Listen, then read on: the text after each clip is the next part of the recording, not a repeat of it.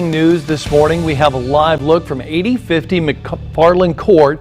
That is where IMPD is investigating a deadly shooting. Police found a man shot and in critical condition. He was taken to the hospital where he later died. Right now, police are working to gather more information and looking to speak with witnesses. This now makes 151 homicides in the city. That's after an already violent weekend with several shootings and stabbings. Our Leah Blackburn has been looking at the numbers all morning long. Aaliyah, what can you tell tell us.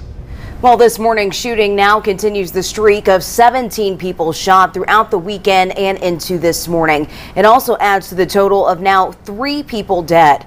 Police responded to several shootings in the overnight hours Saturday and Sunday. Early Sunday morning, IMPD responded to two women shot in Broad Ripple and another man shot nearby. Now, at last check, all three victims were recovering in the hospital. It's also unclear if the shootings were connected. Meanwhile, people in the city say the violence is concerning. That's as homicides alone now stand at more than 150, barely seven months into 2021.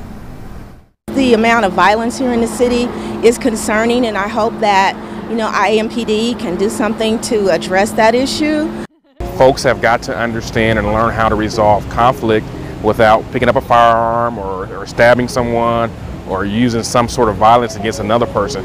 Not only are you hurting that that family, uh, that family that you're hurting, but you're hurting your own family because we're going to hold you accountable and responsible if you unjustifiably hurt someone.